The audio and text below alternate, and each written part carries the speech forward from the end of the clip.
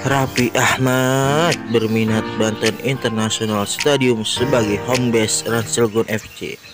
Kabar Banten, Banten International Stadium atau BIS langsung diminati tiga klub Liga 1 Indonesia, yakni Ranselgon FC, Dewa United, dan Bayangkara Football Club.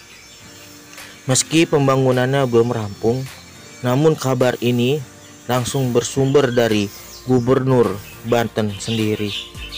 Nampaknya persaingan di Liga 1 tidak hanya dalam sisi permainan, namun persaingan di Liga 1 tahun depan juga akan menjadi menarik karena Banten salah satu provinsi besar diminati oleh tiga klub raksasa Liga 1 Indonesia. Bagaimana perkembangan dunia sepak bola Indonesia ke depan tentunya sangat menarik untuk kita saksikan.